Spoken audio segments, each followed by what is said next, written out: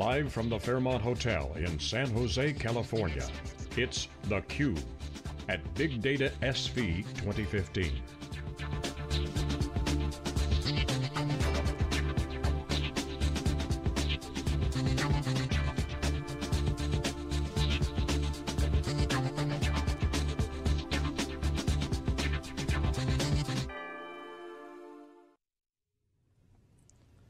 Okay, hello everyone. I'm John Furrier of SiliconANGLE, theCUBE, and I'm here live in Silicon Valley for Big Data SV 2015. This is our second time in Silicon Valley, our fourth big data event where we are out getting all the data from what's happening in the industry and sharing that with you in conjunction with Strata Conference, Hadoop World, which is going on right across the street. Again, we are bringing live interviews, coverage, analysis here with theCUBE, our flagship program. We go out to the events and extract the signal noise.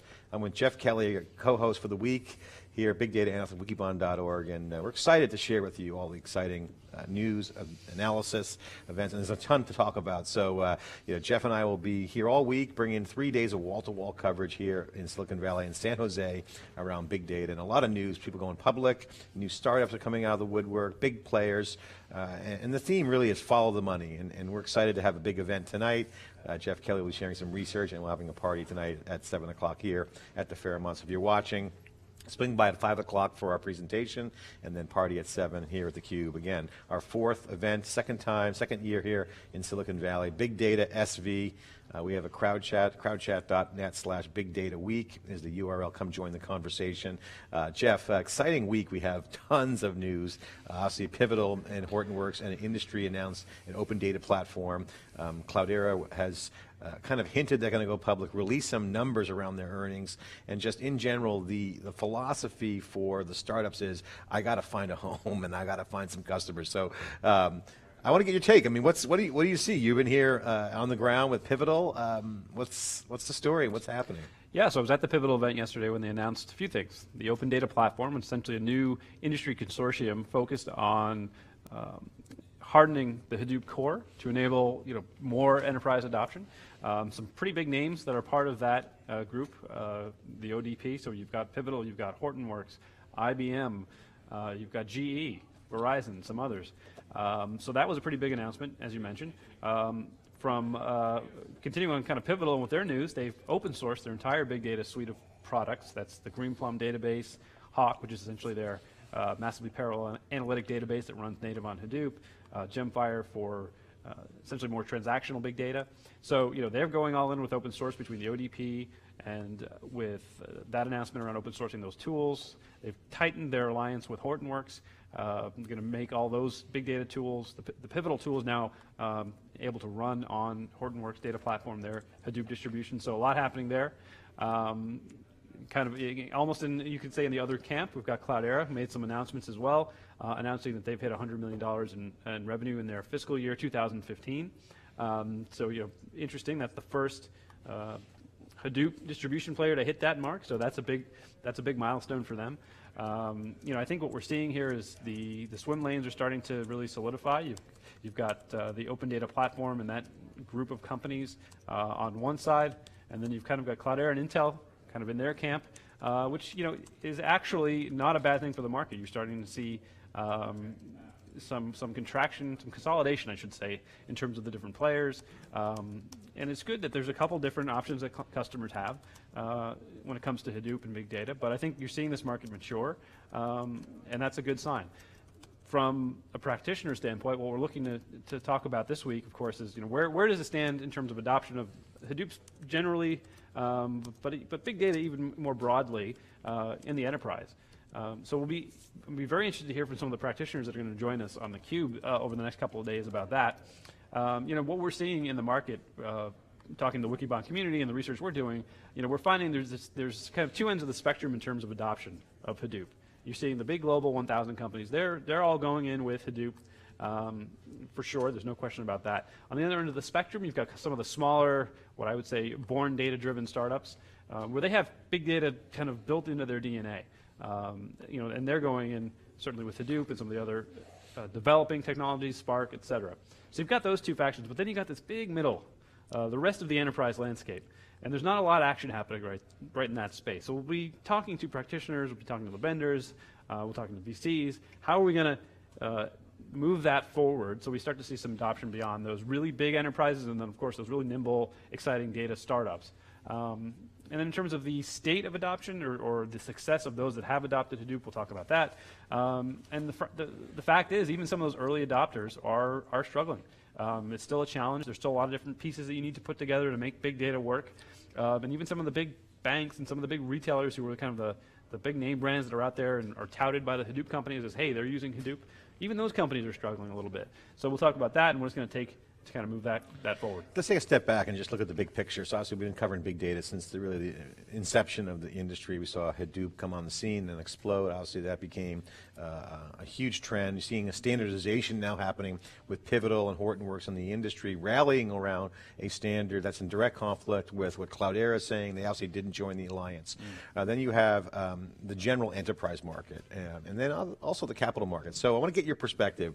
Um, we had the big data New York City event, which really focused on Wall Street, the capital markets in New York. Mm -hmm. Here in Silicon Valley, we're looking at the money side of the, the private side. So, you know, obviously Cloudera is not yet public. Uh, Hortonworks is public. And then you have a slew of startups out there trying to find a, a position, if, if, you will, swim lanes, as you say, for the big guys. And the little guys are trying to find uh, spots. So, yeah. so, I mean, where are we? Obviously, phases of, of evolution. We've seen phase one. We've been talking about that on the cube, you know, the early adopters. Are we in phase two? Are we crossing the chasm? You know, we were speculating that big data might not be an industry, but might be more cloud driven. Um, where's the evolution? Is the tides shifting? What's your take on the big picture? Well, I think we're, we're kind of moving from that first phase of big data that was focused, as you say, on, uh, that was characterized by some of the early innovators who were also the early users. So, you know, Hadoop really, and some of the big data uh, innovations happened out in the marketplace with companies like Facebook and Yahoo and Google developing this for internal use. Um, so we certainly saw that. But uh, now we then we saw kind of a market evolve around some of these startups and VC money flowing in. You know, kind of all started with Cloudera, uh, and then MapR and Hortonworks, and then of course the whole ecosystem that built around them. Um, and then we started to see the enterprises actually start to dip their toes in the water. Uh, so I think that was kind of phase one, and, and, and, a lot of those early deployments in the enterprise were focused mostly on cost savings. Um, from an IT perspective, that is, you know, we hear a lot about data warehouse offloading, uh, moving some of that, some of those workloads from your expensive data warehouse to a less costly Hadoop deployment, kind of laying the foundations for that so-called data lake which hopefully then you'll use in, in, uh, in time to, be, to build more revenue-focused applications. So that's kind of phase one. I think phase two, we're starting to see a few things. From a market perspective, like I said, we're seeing, we're seeing a, couple of, a couple of different major factions kind of solidify. Um, I would put you know one bucket the ODP, that's Pivotal, Hortonworks, IBM, and, and, GE, and some of that group. On the other side, you're seeing Intel and Cloudera. Um, I might even throw Amazon into that bucket as well. Um, so I think you're starting to see that, which is, which is, I think, a natural thing in the market. You start to see a couple of dominant players start to emerge. In this case, not individual players, but but factions. Um, now, the interesting question, of course, is you know we're, we're Strata Hadoop World is happening this week, and if you go down to the show and you go to the show floor, there's dozens of startups out there in the space. Um, many of them focused on fairly niche tooling in the larger big data stack. And the question is, what's going to happen happen to those players? Um, you know, I, one of the challenges of this market, for, if you're a startup, is that big data requires, and we've, we've learned this, you know, by talking to a lot of practitioners um, in the enterprise. But big data requires more of a platform approach. Um, there are a lot of moving parts. And for this to go mainstream, most enterprises don't have the internal resources, bandwidth, expertise, what have you, to bring together all these disparate tools, bring them together, cobble them together into their own platform. They are looking for more of a uh, one-stop shop for big data. Um, we saw this in the data warehouse space to some extent, where the appliance model, bringing the hardware and software together, drop kind of data warehouse in a box, drop it in your data center, you know, that really became, has become the standard approach for data warehousing. Um, and we're starting to see that in the big data space. Um, now, the interesting caveat there, of course, is open source, uh, where you didn't have that in the data warehouse space. Uh, and that's the, the good news is that innovation, I believe, is going to continue even as we start to see some consolidation um, and more of a platform play around big data. Uh, but back to those little startups, I think the challenge for them is going to be, you know, how do you build a business around a particular tool that needs to fit into a larger platform, the big data stack, if you will, that itself needs to fit into a larger data management stack, needs to fit into the larger infrastructure and some of the innovation that's happening on, on that side in terms of cloud and virtualization. So it's, it's going to be hard for those players to build, I think, um, long-term sustainable businesses. What I think the good news is I think some of those players out on that floor today will have some good exits. You're going to because there is going to be consolidation in this market, and some of the tooling that they're creating is very valuable. Um, so for some of those, there's going to be a good exit. For others, you know, there's there's not going to be such a good exit. But you know, that's the nature of a new market and venture capital flowing in, and that's that's just the way markets We work. can't, we can't not talk about the big three. Cloudera, Hortonworks, and MapR, obviously the, the, the innovators early in phase one, obviously. Are they going to get the leverage in this phase two? Um, what's the early adopters on the enterprise look like? And obviously, where are the capital markets? Obviously, those big three are, are Mm-hmm. heavily funded. What's your take on those three guys? Well, if you look at those three players, uh, like I said, I think you're seeing a couple, couple of different factions play out, or, or develop, I should say. Um, they are extremely well capitalized. Um, you know, between the three of them, I think raised over 1.6 billion dollars uh, over the last several years. And of course, Hortonworks has gone public and raised another 100 million plus in their in their uh, IPO. Uh, so they're very well capitalized. The question is, where's where's all that money going to go, and, and and why is there why is there a need for that much capital in this market? Because isn't software supposed to be you know not so capital intensive in terms of uh, building out a business? Um, the challenges in the Hadoop business are a few things. One, uh, from a distribution perspective, you've got a you've got, it takes time to, to build a, a business based on open source software. You've got the community to contend with, and then you've also got to deal with your channel. You've got to get you've got to get you've got to break into the um, more traditional way of enter- enterprises buying software. So that takes time, and then of course you've got to compete with the mindshare. Uh, you've got to compete from a mindshare perspective with all the big players who have lots of money and are very uh, invested in this business as well, whether that's Microsoft or Oracle or whoever. So that's where a lot of this money is going. Uh, you know, what's going to play out in terms of you know who's going to be around in five, ten years? It'll be interesting to see. I mean, I think this market can sustain one, maybe two players uh, at a large scale. Um, but you mentioned three vendors, so you know, will, will all And there's a lot of other little guys. I mean, there's a lot of consolidation going on. That's your premise of your of your research. Well, You're right. presenting that tonight at five o'clock tonight. Uh, have an event. Um, what's your take on, on consolidation? Like I said- Carnage, IPOs. Well, what's going on? I think you're going to see you're going to see continued consolidation. We've already started to see it, um, kind of on the periphery. We've seen companies, you know, and certainly in the open source business intelligence space with Pentaho, JasperSoft being acquired, Revolution Analytics.